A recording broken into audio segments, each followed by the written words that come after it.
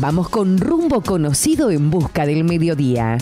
Los temas de tapa son noticia toda la mañana, en tiempo compartido. Seguí en NBR, la radio, FM 90.5, donde el mensaje se potencia. Eh, bueno, en su momento, eh, por gestión del querido Edmundo Lavía, tuvimos contacto con Carlos Campolón, un prestigioso periodista argentino que la tiene reclara y como siempre señala particularmente Edmundo, ¿no? Es hombre de la política, pero además es abogado, sociólogo y demás. Entonces, ante el caso Vicentín, que ha abierto una, un frente de tormenta en, varios frentes, justamente, eh, que ha lanzado tantas preguntas, ¿no? Como cómo se tomó la decisión, quién fue el, ideólogo de este plan, cuánto es lo que se va a invertir por parte del Estado argentino para llevar adelante la operación Vicentín. Dijimos, Carlos Campolongo es la palabra indicada o una de las palabras indicadas y por eso lo invitamos a salir al aire y aquí está con nosotros. Carlos Alfredo Martínez te saluda, buenos días. Hola Alfredo, muy buenos días. Un placer siempre. ¿eh? Gracias por la convocatoria y tu excesiva presentación. Vamos a ver si puede ayudar o no. Sí, con toda seguridad que sí, claramente. Queremos bueno, y saludo a todos los navarrenses y aledaños. Muchas gracias, muy amable. Bienvenido ese saludo. Ya llegará el momento en que podamos invitarte como, como habíamos planificado. Nada de asado virtual. No, no, no, por supuesto. nada, nada. Bueno, vamos a ponerlo serio, estoy a las órdenes. Bueno, nos gustaría conocer tu mirada, por dónde se empieza a analizar esto. Bueno, a ver, el tema, y yo me he expresado en ese sentido, es que en primer lugar, digo, empecemos de lo menor a lo mayor. En primer lugar, desde el punto de vista jurídico, y me parece que no se puede soslayar, no, claramente. porque hay un mandato constitucional, en los hechos que han acontecido, quiero decir, decreto de necesidad y urgencia, sea por los argumentos que fueren, desde el punto de vista jurídico, formal y constitucional, en un periodo donde esa empresa estaba bajo jurisdicción de la justicia comercial, porque había una convocatoria de acreedores al respecto, esta intervención es una intromisión de un poder sobre el otro. Este es un punto, yo diría, mm, nada discutible. Ahora, lo otro que también al comienzo de esto quiero decir para tratar de trabajar el tema con la mayor ecuanimidad posible, es que esa empresa, contribuyente de la campaña del expresidente Mauricio Macri, recibió sobre la salida del anterior gobierno un préstamo del Banco Nación eh, a cargo de Javier González Fraga, donde hay una denuncia al respecto, por 1.200, 1.300 eh, millones de pesos, eh, cuando no se reunían las condiciones, digamos, de eh, aprobabilidad, vaya el neologismo, del crédito. Quiero poner esto porque seguramente en la conversación van a aparecer temas cruzados. Fíjese, Fredo, que en, en, menos de 24 horas se ha generalizado eso que se suele llamar la polarización del blanco sobre el negro. Entonces, unos eh, quieren justificar eh, la cuestión mediante el DNU y salvar la fuente de trabajo, que es loable y más en estos tiempos, pero bueno, hay una serie de procedimientos, protocolos se dirían ahora que está de moda la palabra protocolo, que hay que eh, cumplir. Y por el otro lado, la exageración, yo no la comparto, de que esto es un jalón más en un camino hacia Venezuela. Argentina no va a ser Venezuela porque los argentinos lo vamos a permitir, con todo el cariño hacia el pueblo venezolano en sí, estoy hablando de las responsabilidades políticas, este, nosotros no vamos porque, porque objetivamente las situaciones son distintas, absolutamente. Nosotros no tenemos, felizmente, un país militarizado, aunque puedan hacerse muchas críticas a la organización del país de parte de las élites hacia las élites dirigentes, políticos partidarias, pero también empresariales, en fin. Eh, yo quiero aclarar esto para que no se interprete como tantas otras cosas graves que suceden en el país de decir, bueno, esto es blanco o esto es negro, esto es Boca, esto es River, esto es vida, esto es muerte. No es así. Y bueno, insisto, este es el punto de partida, pero por ahí usted me quiere ir repreguntando. No, estaba pensando justamente que lamentablemente el punto de partida para nosotros es siempre el antagonismo, ¿no? Es nos ponemos en las dos puntas y ahí empezamos a tirar piedras. Y, de, aquí hay que arrancar el análisis para ver la dimensión y la complejidad que tiene la cosa, ¿no? Sí. Después hay un segundo nivel eh, importante a tener en cuenta, que son, llamémosle así, los antecedentes y personajes que han intervenido en estatizaciones de empresas, eh, perdón, en privatizaciones de empresas del Estado.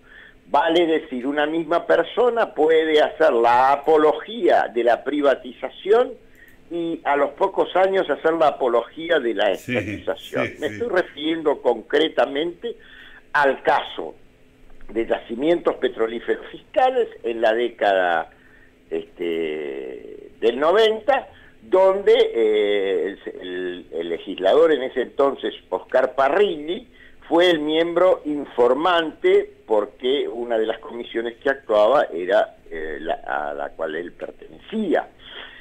Pero además quiero agregar otros complementos, que es eh, el punto central para mí ya en este nivel que estoy abordando. Y ese punto central es, además de, evidentemente, cuestiones difíciles de entender como la soberanía alimentaria, que es un término medio inventado.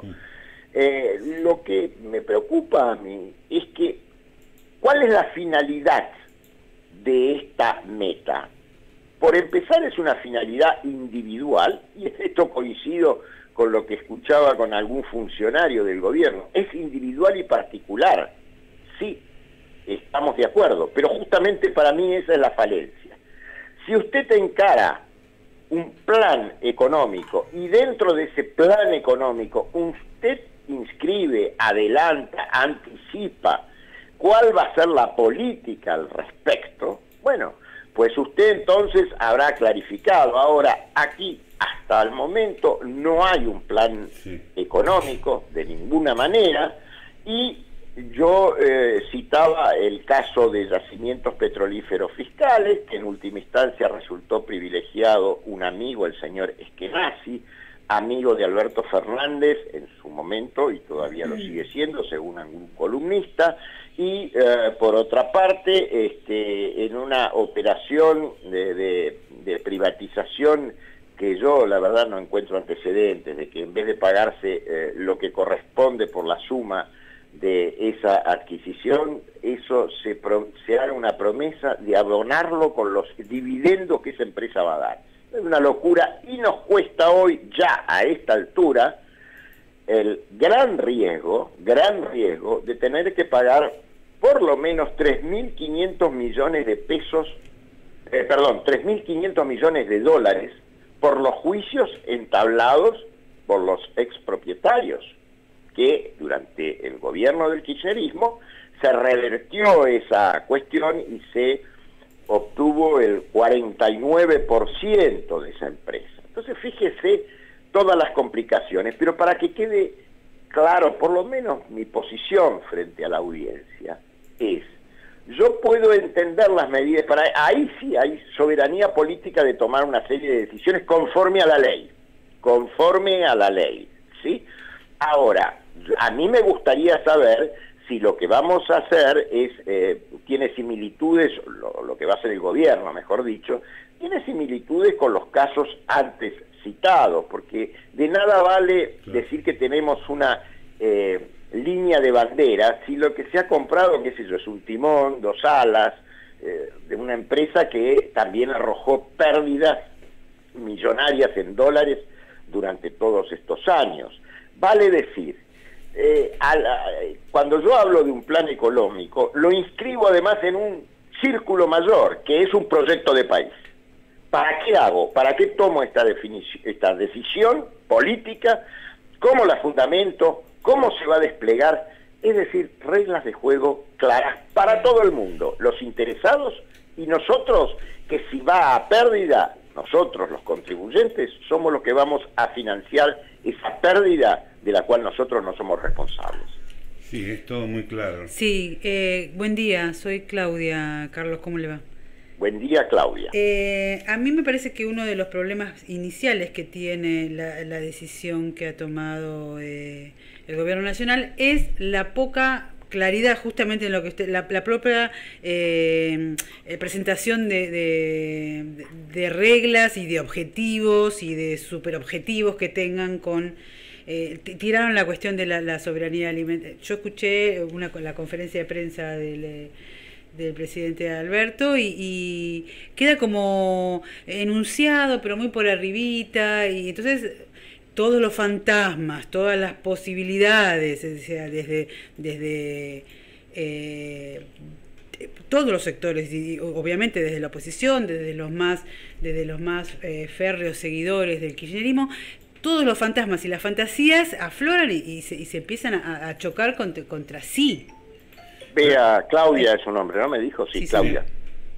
Eh, voy un poquito más atrás de su interesante apreciación. Y es, yo me pregunto, ¿esto va a tener la, el desarrollo, la sustentabilidad, la planificación que tuvo esa espectacular, entre comillas, mesa del hambre que se reunió en Puerto Madero? Claramente. ¿Se entiende lo que sí, No, a ver, eh, sí, sí, se lo aclaro más. Esa mesa fue una cuestión vinculada a lo que se denomina política del espectáculo. Estuvieron todas personas valiosas en lo individual, pero la pregunta en aquel momento es, primero, y yo creo que no es un dato menor, me podrán tildar de moralista o lo que fuese, me parece que esa reunión contra el hambre se debió haber reunido en un ámbito eh, más neutral y menos eh, exhibicionista de cierta Argentina de los últimos años. ¿sí? Y segundo, el trabajo. El trabajo. Bueno, ¿cuál es? Eh, porque si no, parecería que tenía razón eh, el general Perón cuando decía, si usted quiere que algo no progrese, forme una comisión. Entonces, ilustres, famosos, yo no, no voy a entrar en la personalización en ese sentido, presupongo que todo argentino de, de, ley eh, tiene buenas intenciones pero paremos un poco con el espectáculo y vayamos a las cuestiones conducentes, a las efectividades conducentes, como decía el, otro presidente que era de origen radical, Hipólito Yrigoyen. Este, eh, porque la verdad que si no, este, creo que estamos siguiendo lo que hacía también el anterior gobierno y el anterior de Cristina, que es jugar la, jugar los destinos, la política, a través de todas estas gestualidades mediáticas que verdaderamente no conducen a nada. Yo no quiero mezclar los temas, pero públicamente hace unos días también hice un análisis crítico, naturalmente, de cómo se estaba manejando el tema de esa comunicación del presidente de la Nación, el, eh, el jefe de gobierno de la ciudad de Buenos Aires y el gobernador de la provincia de Buenos Aires, donde yo pedía más transparencia en este sentido. Eh, la cuestión es una decisión política que ellos van tomando, la prórroga, las circunstancias, eh, la comisión de expertos, bueno, todo eso. Bueno, yo quiero que transmitan cómo expone cada uno de esos conferencistas el argumento para la decisión política que tienen. Y no me vengan con la respuesta enseguida, bueno, no, pero todos los médicos, los infectólogos hablan, los epidemiólogos hablan, me parece muy bien. Yo agregaría de otras disciplinas que deberían tener que hablar, vinculadas a las disciplinas sociales, desde la psicología, psicoanálisis, en fin, un montón de disciplinas que ni siquiera se está contemplando en este momento lo postraumático. Pero bueno, este no era el tema que ustedes querían encarar. Simplemente lo tomo porque me parece que es también una observación del presente, ¿no? Sí, porque justamente, ¿no? Todo parece que es marketinero y se queda ahí, se queda finalmente en, el, en la ebullición de lo político y no se va a, a lo que vos planteaste como inicio, ¿no? En el inicio. Eh, estas son las condiciones objetivas de la situación. ¿Por dónde vamos? Y elijamos un camino, en lo posible consensuémoslo. Porque entonces si no, si está todo este vacío eh, eh, que estamos señalando y todo este juego, yo le diría en algunos casos de oficialismo y oposición, eh, un juego muy infantil para la gravedad de la crisis este, argentina. Bueno, en realidad eso es... Este, Usted se refiere a lo discursivo y a lo mediático, o sea, ¿no? Claro, a lo que, a lo que se vende a la opinión pública. Sí, sí, sí, sí, me refiero a lo discursivo mediático, pero que implica que detrás del telón no hay nada. Claro. Este, este es el, problema, pero... No, hay maniobra política en todo caso. Bueno, está bien, correcto. Mm. Maniobra vamos a llamarlo de politiquería, no de política. Bueno. La política es otra cosa. Bueno, ahí lo, sí, ok. Eh, pero no es que se corre el no, no me enojo, no me enojo, Claudia, con usted, por Dios. Le doy un concepto. Está tan degradada y desbaratada toda la organización social que tiene que ver con la política que usted se cansa de escuchar eslogans ante cualquier catástrofe. Creo que va a ser la diferencia si, si alguien desde cualquier lugar, incluso, o sea, desde la oposición o el, eh, el que tenga la visión de poder dejar esos juegos que están en desuso ya, la gente no se la cree y cuando uno ya las huele, querés salir corriendo para, querés ver a otro, no, no, quiere uno que, que pasa por otro lado, eh, han entrado eh, en desuso, creo, todas esas esos gestos que, que son eh, maniqueos y que son como manipuladores. No tenemos que poner los pantalones largos o argentinos a las cosas o este. Porque si no, eh, hay que darle la razón. Eh, Va a ser la diferencia que se dé cuenta eso. Claro, no, hay que, hay que darle la razón a aquellos que piensan que en realidad la política se hace para la tribuna nada más. Claro, no. La tribuna de cada partido, ¿eh? Sí, totalmente, sí, sí, totalmente. Que en esto no, no, no, no hay eh, hijos y enterados, digamos. En esto son, a ver, todos tenemos la responsabilidad. Nuestra responsabilidad como ciudadanos en este momento es observar todos estos movimientos, que tienen más que ver con los posicionamientos de la elección de medio término y el futuro del 23, que con las cuestiones estructurales y urgentes y en serio que hay que este, solucionar o encarar en nuestro, en nuestro país. Lo cual resulta realmente tristísimo. Y bueno, pero tome otro tema, tome otro tema de la agenda. ¿Le parece que es serio lo que se está o, o que es explicativo a fondo lo que está ocurriendo con la citación de un juez a decenas de personas por las escuchas ilegales que se hicieron durante el, periodo de, Macri y no es para eh, focalizarlo ahí, ¿eh? esto se hizo antes de Macri, mucho antes de Macri, se sigue haciendo ahora, y lamentablemente si no nos ponemos, como decía acá el amigo Martínez, los pantalones largos, y bueno, seguiremos con este arte de Birli Birlock, y entonces es una jugadita hoy, un pasecito corto mañana, y bueno, así no se construye un país. Me gusta porque justamente en la nota de esto es lo que queda claro. Más allá de la coyuntura, de las circunstancias, de la complejidad que tenga la cuestión de los discursos, así estamos pensando mal el país. Obvio que estamos pensando mal el país.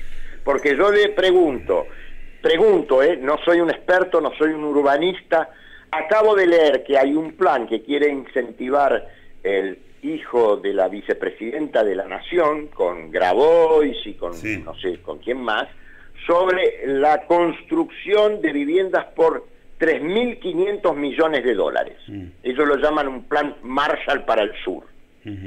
Primero hay que ver a ver cómo se va a instrumentar eso. Pero yo me pregunto, insisto, yo no soy un experto en eso, ese, ese monto importante de dinero eh, destinado a esa obra ¿no sería mejor direccionarlo y cruzarlo con un mejoramiento de la demografía de nuestro país, o sea, la distribución de población?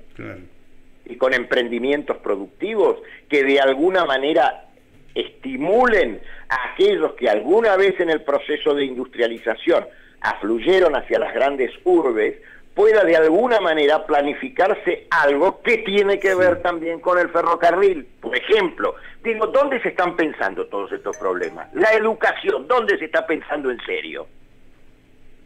Claramente. Entonces, no, no estamos construyendo un país. Claramente.